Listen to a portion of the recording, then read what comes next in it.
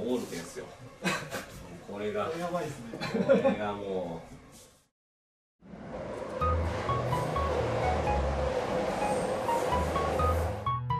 こちらでいつも作業をしている、えースペースになります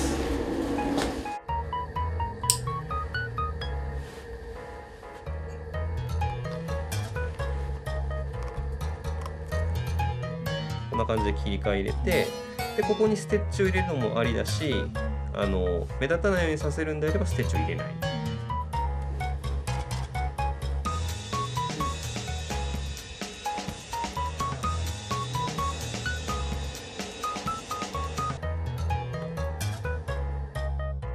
一番軽症のやつではい。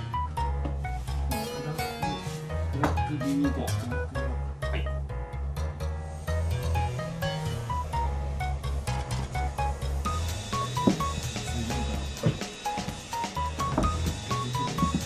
ここの切り替わるじゃないですか。ここに合わせてこういう感じで当てるんで皮を。ものすごいツヤ感出すんだったらワインハイムがいいんですよ。はいはい。でも結構張り出るんで。もうだいぶ柔らかくもなってるんで、ある程度柔らかめの皮のが多分いいんで馴染み馴染みやすいというか。馴染みやすいですね。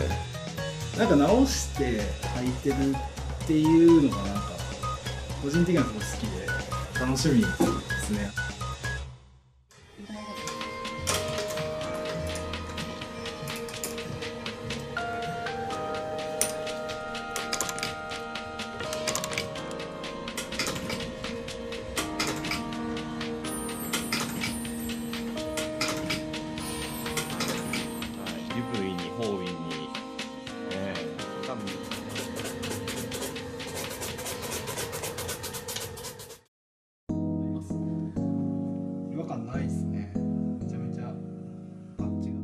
このオールですよ。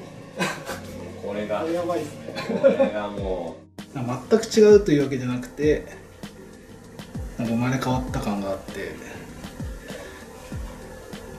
新鮮ですね。こここですねここ。こ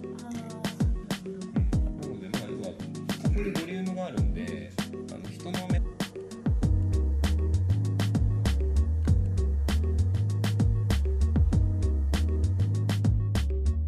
なんか元に戻すみたいなのはおそらく修理をやる上で前提だと思うんですけどなんか僕はちょっとこう違くてあの新しい付加価値をつけるっていうところになんかこう重きを置いてると思います。お修理をしていただくことあのお修理をされることでもともと持ってたそのお靴に対する価値ってあると思うんですけどそれを修理をすることによってそのチャールズ・パッチとかとは関係なくてさらに何て言うんですかねこうお客様の中での価値が上がってくれるっていうかなんかそこを大事にしているような気がします。